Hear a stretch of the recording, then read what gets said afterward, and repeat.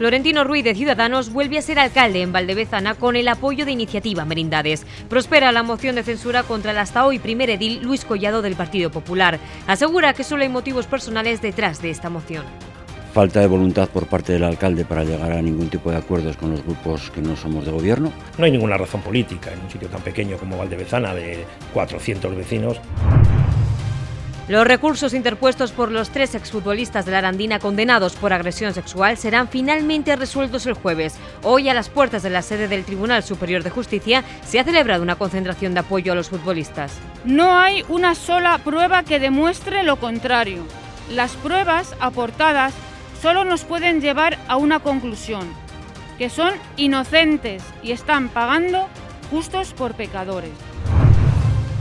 Dos accidentes han complicado el tráfico en Burgos esta mañana. El más aparatoso en la Plaza del Rey, en el que se han visto implicados dos coches. Uno de ellos ha tirado el semáforo dejando la zona sin servicio unos minutos. Nadie ha resultado herido. La nueva normativa que limitará a 30 km por hora las calles de un único carril por sentido pretende pacificar el tráfico y minimizar el riesgo de accidentes. El equipo de gobierno valora transformar alguna de esas vías en ciclocalles.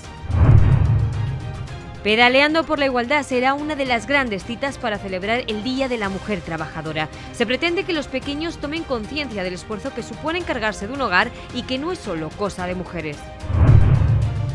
Burgos pondrá en marcha una filcomisión para atraer rodajes. Previsiblemente se pondrá en marcha antes de Semana Santa. Ha sido uno de los anuncios dentro de la inauguración del Encuentro Ciudades Creativas de España.